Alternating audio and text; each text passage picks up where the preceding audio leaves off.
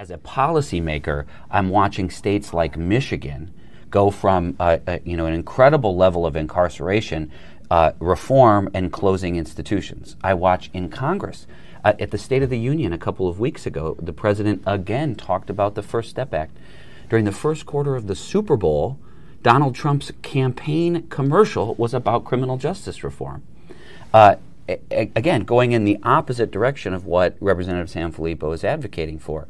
And what we see as those states are, are continuing to expand the programs and laws on reform is we're, we're not seeing the sky fall. We're not seeing crime rates spike. We're seeing in places where they take the savings and reinvestment in programs like TAD or, or rehabilitative programs, we're actually seeing crime go down. We're hearing from law enforcement right? That they're arresting the same people over and over and over again. One of the stats I like to always refer to is something Chief Flynn had told us that in a 10 year period, they arrested the same 109 individuals 945 times for 2,600 crimes.